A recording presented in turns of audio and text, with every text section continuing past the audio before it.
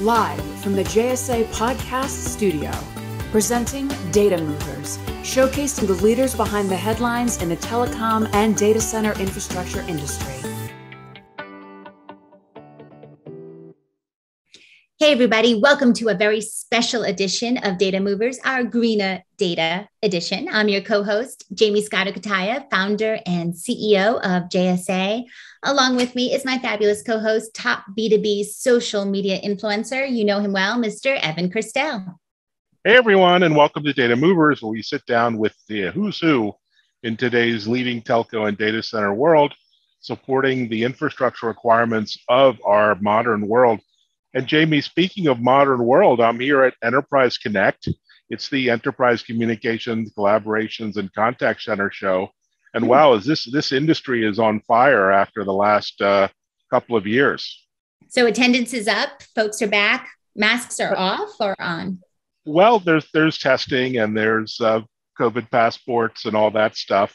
Oh, so there's not too many masks here in Florida, but where there are a lot of, of people and uh, you know this industry uh, collaboration and, and enterprise comms has gone through this this 10 years acceleration in terms of adoption and so everyone is here. I mean, it's a who's who now of the industry from Amazon to Google uh, and on and on and on. So it's really interesting to see the doubling down of investment in applications and infrastructure around enterprise communications and remote work, which, yeah. by the way, is, is good for the planet. We're not commuting, we're not driving as much, we're not flying to as many meetings. So that that's a step in the right direction, right? Absolutely, absolutely. You're singing my song now, my, my friend. Um, and you know, stuff that we are definitely covering in our book Greener Data, which is out in less than a month now ah, on Amazon. Are you excited by any chance? I, I had I, I sense a little bit of excitement you, in your voice. You feel it a little, yeah, yeah. I mean, um, when I uh, woke up yesterday, it was the 22nd. I was like, it's one month, one month to go. I think uh, I think I must have shared that out on social uh, obnoxiously, but it is so exciting because um, we've really gathered the industry thought leaders um, with the best, best uh, innovations. Um, and uh, one of them here today with us. Uh, so I am so excited. I know here on Data Movers, we, we uh, try to get the best guests and dive into their backgrounds, their career highs and lows, their unique perspectives. Well, I am so, so thrilled, guys, to introduce today. Welcome, Mr. Bill Kleyman, Executive Vice President of Digital Solutions with Switch Data Centers. We should also say he's um, a contributing editor of Everywhere with Data Center Knowledge, Data Center Frontier, AFCOM, Data Center World Program Chair. So, yeah, of course, also contributing author to Greener Data. Welcome, welcome, Bill. How are you? I'm I'm doing all right. Thank you so much for having me, uh, Evan and Jaymie. It's a pleasure to be here. Thank you for being here. And you know, in doing my uh, seven minutes of research for this show, you have so many accomplishments and, and different roles and contributions to our industry. I, I really didn't know where to start with questions. Uh, you know, a fascinating story of your uh, uh, uh, career span in this industry you know your journey as it were from in, in, areas like automation manufacturing emerging tech so tell us, tell us about this this story, and cue the music. we'll, we'll, we'll do it uh, Oscar-like. Um, no, we, we don't have music, but but tell us about your journey upwards and onwards through this industry. Sure, sure. Um, wow, I, I, know we have a limited amount of time here, so uh, it, we'll, we'll make this as fun as exciting as we possibly can. Great intro, Evan. I first I thought that was a virtual background. It's not a virtual background. You it's are the infamous Gaylord uh, it's, hotel just gorgeous on the inside. Talk about that fresh atmosphere. All of those trees behind Evan, everybody listening, those are real trees. That's this real fresh air that he's getting yes. there. It's like some sort of spaceship Earth going on here. It's fantastic. Yeah, Evan's got his own little biodome. That's cool. Yeah. I like I like that. Um, thank you, thank you again for having me. Uh, everybody listening, um, it's it's a pleasure to be on this on this call. Obviously, I, I work with data a lot, and I'm a big fan of data centers, having worked at Switch um, just just to kind of give you a, a condensed version of, of, of, my career and what, what I've been doing. Um, interestingly enough, the, the, the the whole start behind all of this this this career and, and what I do um, actually started out in, in a different country. Believe it or not, I was not born here in the United States. I was actually born in Kiev, Ukraine. Um, wow, we may need another show just to talk about this because my I, my fiance was actually born in Kiev too, and so yeah, it's been top of mind the last uh, few weeks, huh? Oh yeah, you you you can definitely say that again. Um, you know, people ask me, Bill, how are you doing? And I, and I try to be super jovial and energetic, like I usually am. Um, but usually my answers have been sort of like, I'm doing okay. It's been it's been late nights and early mornings, checking in on friends right. and family, still in Kiev and involved in in, uh, in Odessa. Uh, a lot of our friends have left Kharkov, but um, you know, I I I open this to everybody listening. If you find me on Facebook, I've been posting regular updates on the events there, so you're welcome to to give that a read. You don't need to send me a friend request. You can just follow my account. But there's a brighter side to this story. Um, we came to the United States in, in the early 90s. So, you know, I had a chance to experience Chernobyl being, uh, uh, you know, the collapse of the Soviet Union. I remember being a refugee when all this fun happened. Um, wow. But the, the bright spot, the bright spot, um, and I know we don't have enough time to talk about all those little asterisks. Um, my brother back in, in, in Soviet Ukraine would, uh, would compete in these, in these, in these communications competitions. Okay and you, it's unlike anything else. It was using a telegraph. I'm not kidding, right? And so he would wow. sit down, and he had this. We had this this uh, uh, great great apartment in a little area called Berezniaky. Uh, if you're familiar with that, you know where it is in Kiev. And so he would put on these big headphones, and he'd have his little little telegraph switch. You know those, those little guys. And I remember being like four or five, six years old, and just watching him do this stuff. Absolutely fascinated that those little beeps and boops they were talking to somebody far across the Siberian plains, maybe on the other side of, of Russia. Uh, but they were talking to somebody, and sometimes he would let me sit down on his lap. He'd put these big, you know, ear cans on me, and he'd let me play with the switch. He taught me the numbers. He taught me how to do like SOS, and and it was really fascinating to hear somebody respond back to you, right, in, in communication. So here, here I am, Evan and Jaymie, a millennial, telling you that I got my start in this industry in communications and data with a telegraph switch. Um, but it's true. Uh, and, and then you, you, you slowly worked your way up to fax machines, I assume, and, and other yeah yeah you know, dumb 50, phones yeah 56k modems. You know, I heard somebody on a subway one time. Hang on a second, this triggered me. Their cell phone ringtone was the 56k dial-up code, and I was like, I was like triggered. I'm like, ah, what, what are you doing? Why would you? To do that in public. I it's like, oh. Um, that is awesome. And so, and so coming into the United States uh, in the early 90s, I, I always held on to that fascination of just just simply how how we communicate in this era, how we can bridge vast distances and use technology and data to give people the opportunity to do amazing things, communicate, collaborate, play, work, live life um, and so here in the United States, I, I, had a chance to in my in my in high school, I took comp, comp sci classes. In, in in college, I got a network engineering degree. Uh, then I got an MBA in marketing and other masters in information security. And really just never looked back. A lot of people in my industry in the data center space are adopted into this. Like, I'm a marketing guy, but now I build servers. Or, hey, yeah, I did finance, but now I'm doing rack maintenance.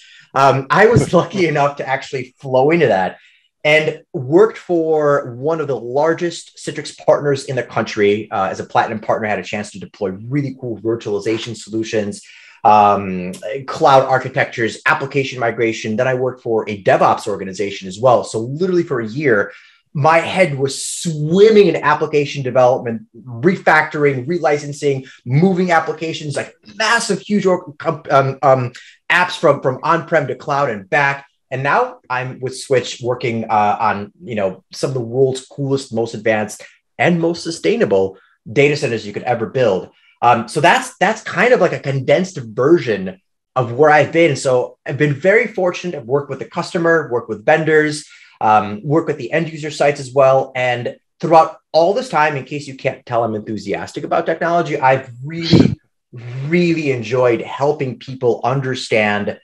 really complex topics in our industry. I just wrote an article literally today as we're talking, it was published on the nuclear powered data center, literally small modular reactors and how this could be a potential future, um, you know, as far as green and sustainable energy for the data center industry. Wow, so, game changer. Yeah, we need to take a look at nuclear, obviously. So fascinating I think, stuff. I think so too. It's interesting. So yeah, that that's that's sort of like the remarkably the condensed version of of how I got here. Yeah, and that actually is a, a, beautiful segue into my uh, question for you because obviously your work speaking for itself. Uh, you're known in our cybersecurity cloud data center industry. Uh, 15 years, I feel like it should be 50. Um, but you were recently recognized with uh, the 2020 IM 100 Award and the 2021 iMasons Education Champion Award for your work with numerous uh, HBCUs and for helping diversify the digital infrastructure talent pool, uh, which we certainly need. So, anyway, can you please elaborate more um, on how you've impacted our, our digital infrastructure industry, particularly with sustainability, uh, ESG, power development, more, and you know, talking nuclear? Sure, sure. Um, so, so thank you for that. It's one of my passions. Is I, I love working with students to to help build the future um, of our industry. You know, Evan, you made you made a funny joke earlier, like, "Hey, Bill, I was expecting you to have like gray hair and, and be a little bit older," which is not an uncommon thing to say about you know folks in our industry. And I don't want to sound ageist whatsoever. I've had absolutely amazing, uh, you know, female and male leaders who were just just a little bit older than I am. Um, but you know, one of the things that I've I've seen you know impact our digital industry is you know obviously getting more young people into this space. Uh, I do a lot of work with high school organizations, for example. DECA. Wow, nice. Uh, it's it's it's something I love to do when you know when I when I have time and don't sleep. Um, everything from judging high school business competitions to working with infrastructure masons and, and just being an educator for uh, you know, Latin serving historically black colleges, universities. And what we're doing with these kids, these young adults, I should say, oh man, this is this is just so cool, you guys. It, we we take electrical engineering, mechanical engineering, um, civil engineering students, and we show them how our industry is directly a part of what they're learning every single day. Advanced power systems, mechanical design, even the civil engineers were wowed by the fact that you know, for example, we are building a, a massive 14 mile long effluent water pipeline um, that's going to allow us to use 100% recycled, non potable water to sustain a multi million hyperscale data center. Like the whole space will not tap into the water source that's nearby in the Truckee rivers. It'll reduce nitrates from the river. It'll increase capacity to build more homes for people. Um, and it actually helps save endangered and um, uh, endangered wildlife species that are in the area. And this is something a civil engineer can do in the data center space. So, mm-hmm. kind of a long-winded answer about about the educational part of it, which which I really do enjoy doing. Um, but how how has all this impacted digital infrastructure? So things like power development, ESG. We're just seeing so much advancements out there. Uh, you know, everything from building massive solar systems that are backed by these really cool battery technologies, so that we we don't lose the power of the sun that we've captured when the sun sets, right? We have these really cool, for example, Tesla Megapack battery packs that allow you to have like 800 megawatt hours. That is so much storage to then fuel back into a data center when the sun actually sets. And all this is done behind the grid. If this is foreign to you, that means that it's not touching the grid. It doesn't place a burden on an aging infrastructure. We're literally dealing with new types of power sources. And as far as ESG, listen, this is another acronym in our space. So I'm sorry if there's another one you have to remember. this one's kind of it's, o- it's only three letters, so I can do. It's a five letter acronyms. oh. I, I really have trouble with. I I, I agree. Sorry, with you. Yeah, man, it, that that was pretty long too. Um, but, but ESG, you know, and, and, everybody listening, that's an important one: environmental, social, and governance.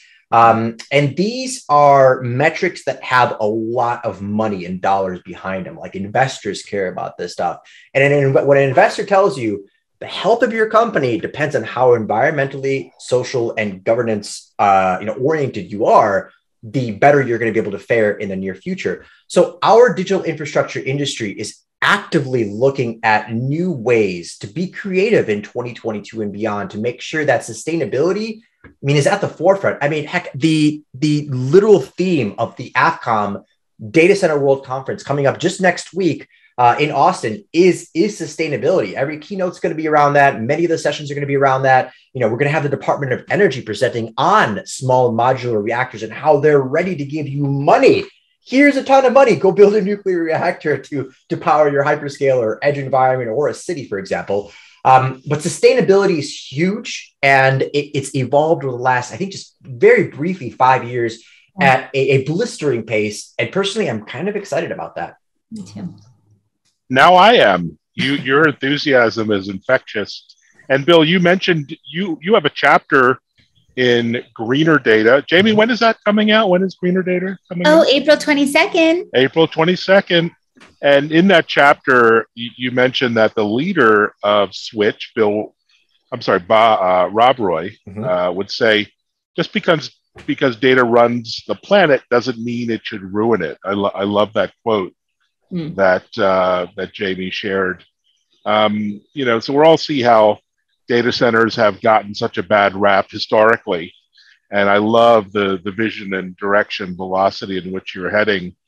Um, and it's so fundamental to our society and our, our, our you know and commerce and it really powers every aspect of our you know work life and workplace um, and you know the the the buzzword that's all the rage now is the fourth industrial revolution you know we're sort of Mhm. passing from the third phase to the fourth phase of our uh, industrial economy but what, what does all that vision mean for the future of data centers specifically? Hmm. Is there a role for data centers powering this, this, this new industrial revolution we're seeing out there with robotics and cloud and IoT uh, et al? I I love this topic, Evan, because it's it's obviously it's near and dear to my heart. Um, and yeah, in the chapter I talked about powering uh, and uh, kind of surviving the fourth industrial revolution. Um, really quick, everybody listening, this is from the World Economic Forum. Um, this might be a new term for you, but uh, during the first industrial revolution, we used water and steam power to mechanize production. And the second, we used electric power to create mass production. The third uh, was when we used electronics and information technology to automate production. Now we're actively in the fourth industrial revolution um, that's building on the third, where this digital revolution that has been occurring since about the middle of the last century. It's characterized by a fusion of technologies that's blurring the lines between physical, digital, and the biological spheres. Many call it like the future of the internet, not something you look at, but something you are a part of, like this immersive world um, that we're going to be, that we're all going to be a part of. And I don't care if you call it cloud, I don't call care if you call it the metaverse, Web 3.0, it's going to have to live somewhere. That's there's there's no secret to it, and that summer is going to be the data center. But unlike the previous revolutions, we must design and leverage this fourth industrial revolution not only to be sustainable, but to counteract the effects of the previous three revolutions. And that's that's a really really important concept to understand. Um, so, what this means for the future of data centers, and I absolutely agree with you, Evan. I, it's been so unfair to see like mainstream media think that we're out there putting coal into our infrastructure just to make it run with these giant steam stacks. That's not true. Um, many of the leading hyperscale organizations and many of the cloud ones as well have a huge focus on sustainability. And even those crypto mining, Bitcoin farming data centers that are out there are now revamping their architecture to make sure that even their heavily utilized workloads are still modeled after some level of sustainability. Um, digital waste equals physical waste. It's just it's just that simple. And when I speak to students, I try to give them an understanding of what it means to waste digitally. A single Google search can power a 100 watt light bulb for 11 seconds. Wow. Okay. How many Google searches did you do today? How much YouTube cat videos do you have streaming in the background? Or is Pandora or Spotify playing nonstop? That has an impact. Every single every single click that you do with your mouse, that has an impact, a real physical carbon impact. And once we start to sort of make that more tangible, more realistic, something people can actually understand, then they begin to see how this fourth industrial revolution is impacting our planet. And for the future of data centers, I think it's kind of exciting. We're going to see the future iterations of power design. I mean, we've seen everything from floating solar panels out in Japan. They have some of the world's largest amount of them to tidal turbines um, to uh, these obviously small and modular reactors to massive solar fields that are powered by or backed by these, these really advanced battery packs. This is this is the future of how we both deliver sustainable power, capture it, store it, and then push it back into digital infrastructure. I mean, it's a part of the reason why you've seen uh, new emission standards around scope one, two, and three, and how there's government entities that are now pushing for the uh, you know, so the, the the transparency of the organizational transparency to make sure that these companies are in fact being green. Um, for everyone listening, if you've seen a mainstream media story, if you've seen something out there saying these data centers are just just horrible, it, it, it's it's really not true. Where the data center industry is actually trying to be a good steward of the environment. They're trying to be good neighbors to communities. They are trying to deliver solutions that actually bring power, water, all these resources back into the communities that they're living with. Um, and they're just trying to be a good partner, not just the people that are around them, but certainly in the world. The, the fourth industrial revolution is going to have to be designed in a sustainable manner. And the underlying architecture, which is a data center, I don't care how big or how small they are, call it the edge, call it mist computing fog, whatever cool word you want to des- describe physical digital infrastructure, it's going to have to be done in a different way in this in this near future and it's going to have to be done much more sustainably and i think everyone understands that. And some some players like switch data centers are pushing the envelope more aggressively than others and, and, and so tell us how are you putting in, in action some of those advanced technologies and what's required to get the sort of adoption deployment to 100% over time? What, what sort of innovation do we need to take it from you know pilots and and uh, a small percentage of our our infrastructure to 100% over time? Money talks. Um, what's really fascinating about this upcoming data center world event is that we're having a new audience come and talk to data center professionals capital investors these are people who have a ton of money that are like we would like to give you billions of dollars to build a green infrastructure period solar geothermal wind offshore nuclear reactor. Here's a ton of money that we want you to use because this will create a, a better bottom line and a healthier business, but also a healthier world. And we know that impacts everybody. Um, you know, I think I think in seeing this importance in innovation, uh, and for example, you know, Switch created the Gigawatt One project, where it is 555 megawatts of solar panels that's backed by 800 megawatts, megawatt hours of battery capacity. Or, for example, how we're building that um, 14 mile 4,000 acre foot effluent water pipeline to reduce the impacts of, of water and be a good neighbor. Also, not just, hey, we're going to use recycled water, but we're uh, going to actively impact the communities of where we're building this stuff. Um, it's going to require creativity. It's going to require ingenuity. Um, you know, one of the people writing this book with us, Dean Nelson, for example, talked about like the carbon sticker, right? Every single piece of manufacturing mm. equipment that goes into a data center, it's going to be like the nutrition facts that you see on food. Yes. But instead of nutrition facts, guess what it has, Evan and Jaymie and everybody? Yeah, data on how much of a carbon footprint this UPS has, or this this airflow unit has, or whatever else might be in your in your data center actively working. The the other major important thing is you know being creative and creating um, patented technologies or using ingenuity with your partners to be creative. Um, we designed our own T-SCIF, this this thermal compartment that does 100% heat containment that allows us to very simple physics to let the hot air rise, get pulled out of the building as we push cold air in. And that level of heat containment, that gives us the opportunity without liquid cooling to push rack density 55 kilowatts per rack. Now, if you're listening to this, the latest AFCOM report, uh, the state of the data center report at least, mentioned that the average in the industry is still between 7 to 12 kilowatts per rack. It's not bad. But when you start talking about new advancements, containment units, rack level density, you can actually push that level. That means we can do more with less physical infrastructure and space, more density, more airflow, and, and less power requirements because it's, it's all sort of condensed. Um, that's the kind of exciting stuff that we're going to be seeing out there. Everything from new ingenuity around battery, power design, um, the physical infrastructure design to the creativity of our industry cohorts, who, what they're doing to make sure that every single piece of digital infrastructure they build is sustainable. Ah, I'm I'm just so excited about this conversation. But let's um, let's sort of move from data centers to, enterprises. Um, mm-hmm. Bill, according to your chapter in Greener Data, the EPA states that carbon emissions are responsible for more than 80% of overall greenhouse gas emissions. So, to remain sustainable, how can enterprises really define their carbon footprint and challenge others uh, around them um, with their emission strategy to ensure that it's not just a, a long term goal, but there's actual substance to it? Wow, Jaymie. That's a good question. All right. All right, everybody. In our industry, there are different classifications of data centers. Okay. There's your traditional enterprise data center, let's say mom and pop bakery shop, and mom and pop bakery shop have their own few racks right there on site where they make their goods. Uh, and then there's co-location and hyperscalers. That's kind of where we sit. What is the mis- the misconception here is that we're all sort of like bundled up together in this one data center terminology, and everybody thinks that we're all super inefficient. That's not true.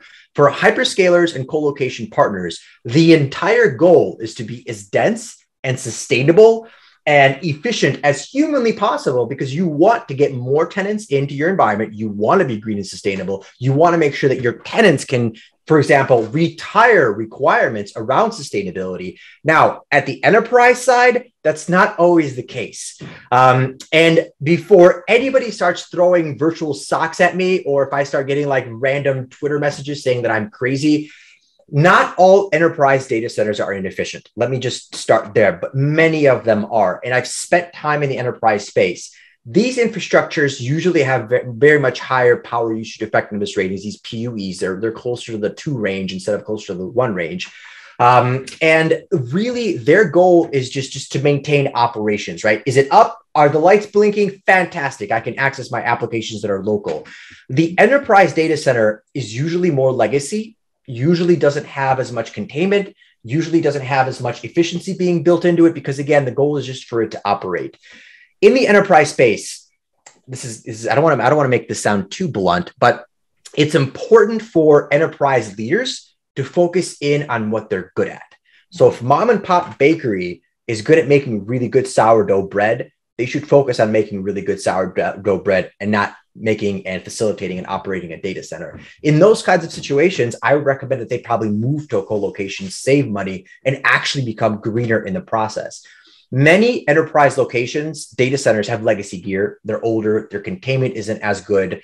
Um, and there is a, an awakening happening in the enterprise space where many many are actively closing their data centers and moving them to co-location spaces because they see it's more efficient, more cost effective, and much greener.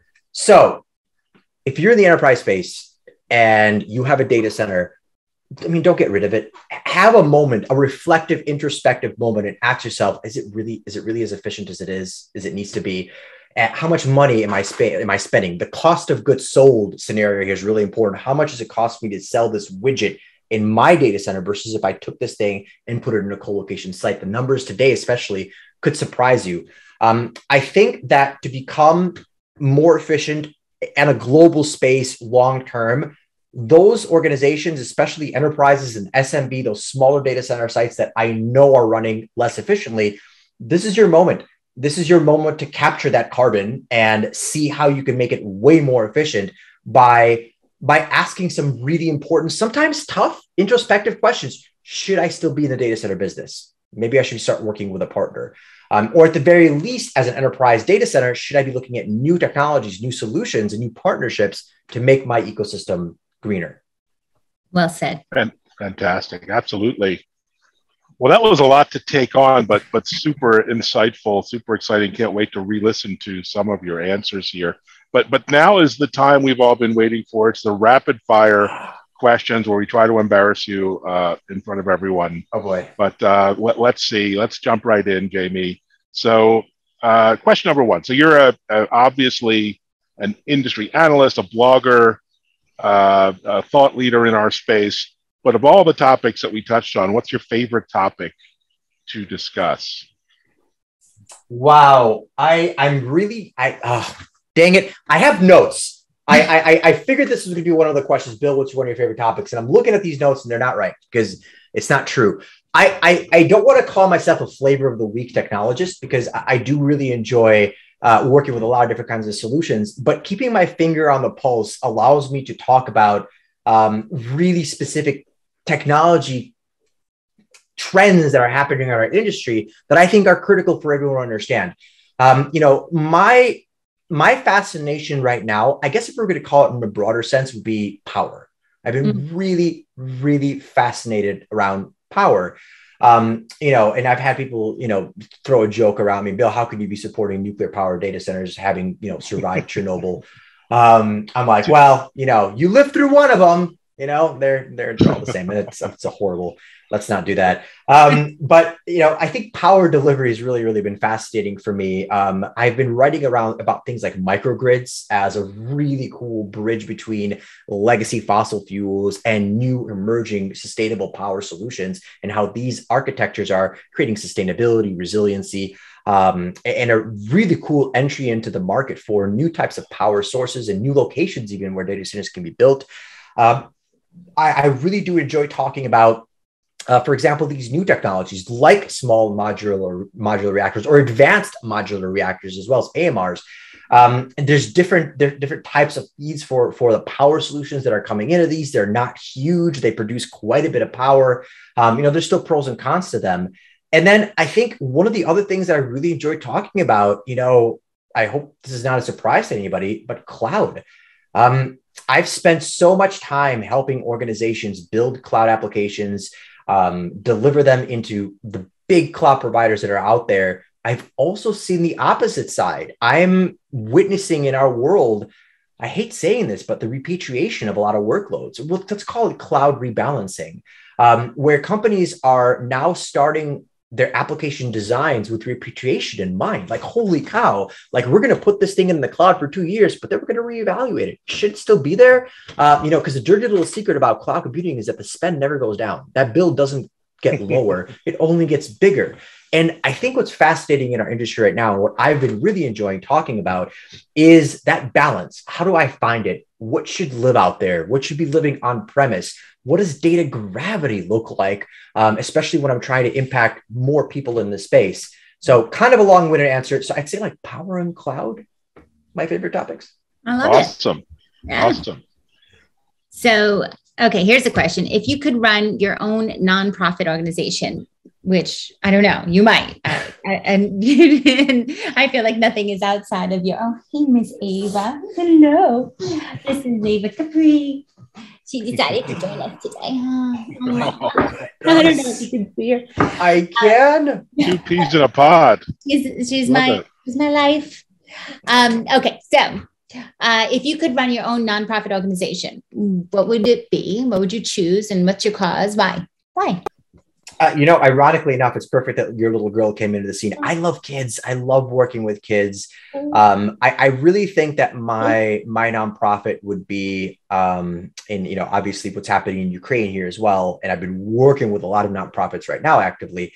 Um, is is probably to work with uh, with with kids, uh, whether it's schools, whether it's maybe refugee programs, uh, or just being a mentor, like a mentorship program, for example, with kids that maybe are underprivileged. I, I really feel like when I grow up, I want to do that. I want to go be a teacher or a mentor or, or adjunct professor one of these days when when I'm when I'm, I'm done with, with the corporate world.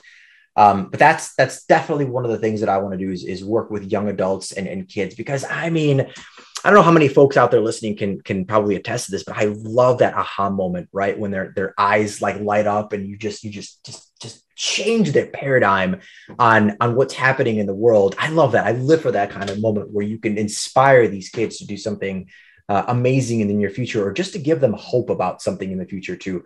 That's what i'd want to do. Yeah i definitely want you talking to ava in like 10 years from now when she's like mom what do you do? That industry's so boring. I'll be like no no no. Let, let's have bill's take on what we do. It's way cooler. I, I got you, Jaymie, and I got you, Ava, too. We'll we'll, we'll have that discussion. Same level of energy. Don't don't you worry. Awesome. So we have talked a lot about big picture, but what's one thing or two things you do every day in your own personal life to contribute to improving the environment? You know, things like uh, are you a, a, gadget guy, connected home guy, or are you doing any any projects that help uh, with uh, sustainability at home? Yes, I was looking forward to this question. Okay, okay. Oh my God. So I wrote an article on Data Center Frontier called The Cloud Powered Parent Raising a Baby oh, One App at wow. a Time. I'm not kidding. Um, I, I, so I have a I have a three three and a half year old, and oh, literally nice. Um, before she was even born, we used several applications and data to to oh my god. Uh, wonder weeks was one of them uh, baby tracker was another one that we used. We have a, a nanit smart camera you know uh, you know watching over her.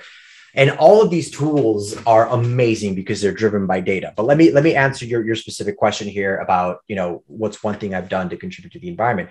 My home is a very very very connected home. And i love looking at ways that i can use data to make the environment greener hey look at that that's the title of our book um, and there are really cool little things that you can do let me give you some really specific examples um, downstairs in the basement on our main water line i put a a smart meter. It's called Flo, F L O. It's made by oh, wow. M O E N. And um, here's what it does it will learn how your household uses water. It can tell you if it's a faucet, if it's an outdoor sprinkler, if it's a shower, or if it's a toilet.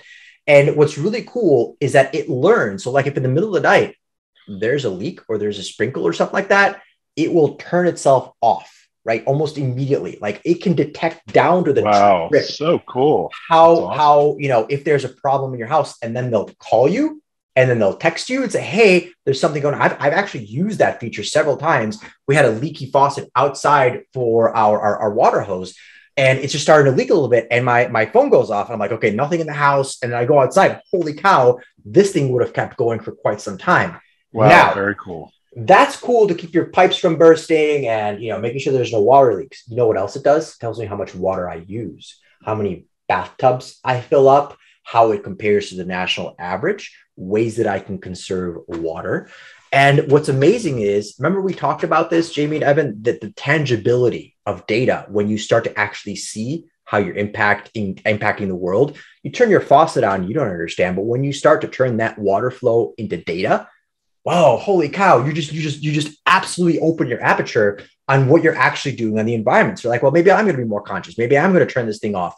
Now, we've also got a really cool APC smart battery in my little server rack downstairs in the basement that monitors the flow and um, outflow into my rack of how much power I use. So in that sense, I can actually tune on my on my servers uh, because I did get the ones with the power efficiency on there, how much power they're actually using at one given time. Now I've got like a, a 1500 uh, uh, uh, watt um, power supply on that thing, but I am actively on this giant Dell server using like as much as like a as like a thin client would be just super super little tiny amounts because my virtual workloads they just don't need a lot of power and it's literally using like 100 watts or less at any given time while that server is running and that's amazing amount of information. Now, not everybody listening is going to have a server rack at home. M- maybe some of you do, but you could absolutely start to include some of these different kinds of technologies um, into into your home, whether it's a water meter. I've got another one that's actually connected to our HVAC system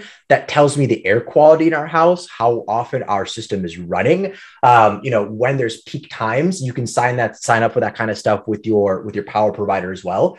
But that's the kind of stuff that I've been working on in the house. And it is absolutely fascinating when you start to, to see and leverage data of your everyday life. I mean, talk about it's like the, the, the step counter on your watch can measure your water, your power flow in your house, uh, your air quality, and so on. And this is going to become the normal, I think, for for many many homes in the very very very very near future. But like right now, this is stuff that you can start deploying to see your physical impact on this world. Yeah. How, how am I not doing this yet? Like, this is awesome. Get on it. Right. Absolutely. All right, so uh, let's let's take this outside, shall we? what is your favorite outdoor activity and why? Um, I well, I do I do love swimming. I was a competitive swimmer, um, but I'm gonna say that my favorite favorite favorite outdoor activity is hiking where there's no cell phone reception. I think I think that's like my favorite. Um, as a technologist who's like persistently connected, I, I, you know we just spent a, we, a long weekend in a cabin in Michigan where we had just like basically no internet. It was great, right? Get got a chance to disconnect. Um, my office at Switch is in Las Vegas. Um, I am not a big strip person at all. Keep me away from from Las Vegas Boulevard. I just it's just not my jam. But what is my jam is Calico Basin, Red Rock, Valley of Fire. Um, after a day at work, for example, I will I will go to the uh, go to the hotel, change, text my team where I'm going to be, and I'm I'm gone hiking, uh, just going up up some giant hill or, or side of a mountain. Um, I, I love, love, love doing that kind of stuff. Uh, we we took a big road trip before our kid was born out into Banff and Kananaskis in Alaska in uh, in um in Canada. We were like we we drove so far north. We were like eight hours away from from Alaska, and then we big, made a big turn back and drove through British Columbia all the way back. It was a two and a half week trip. And boy, if that wasn't like the coolest thing ever, we'd stop in the middle of a highway that was like barely traveled, just get out and look at mountains or go on a hike, find an abandoned river or like a like a water and just just a lake and walk by this lake with the mountains in the backdrop. In case you can't tell, I enjoy being outdoors and hiking and being around water and nature. Um, that is my jam.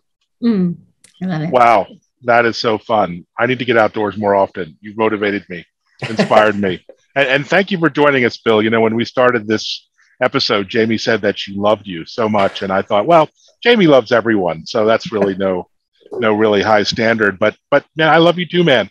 Oh, you, have been you, you've been great, and uh, I, I've just learned so much from this really brief conversation about the future of our industry. I think this is one of my favorite episodes, to be to be frank, Jaymie. So yeah.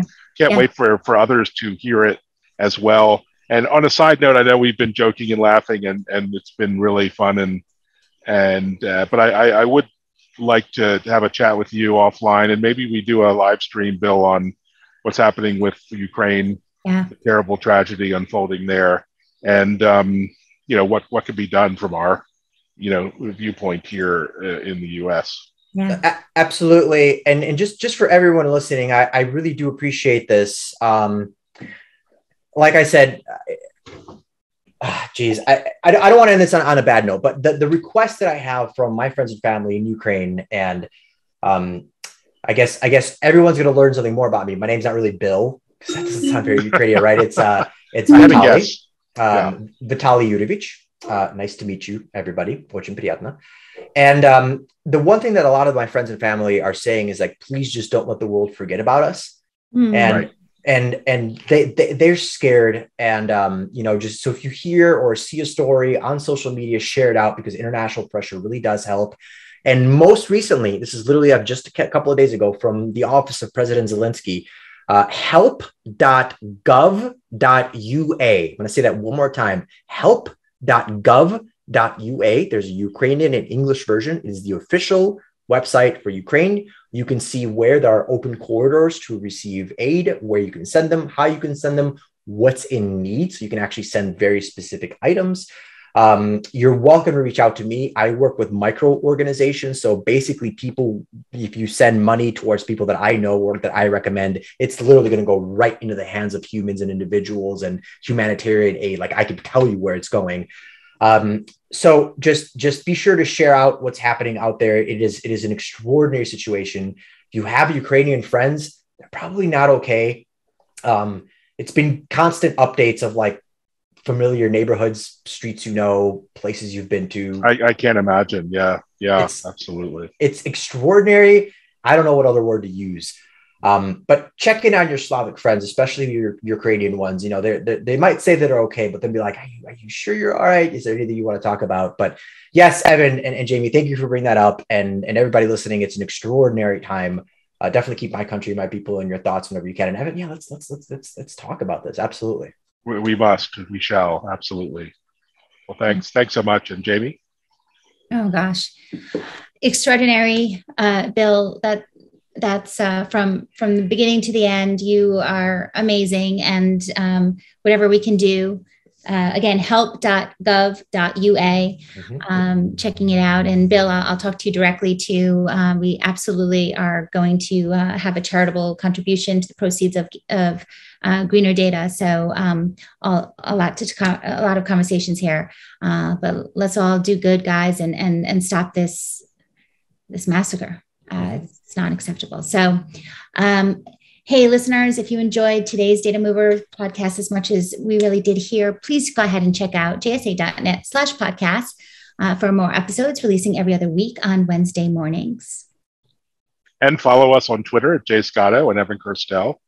And uh, until then. And always um, stay safe, happy networking, and be green.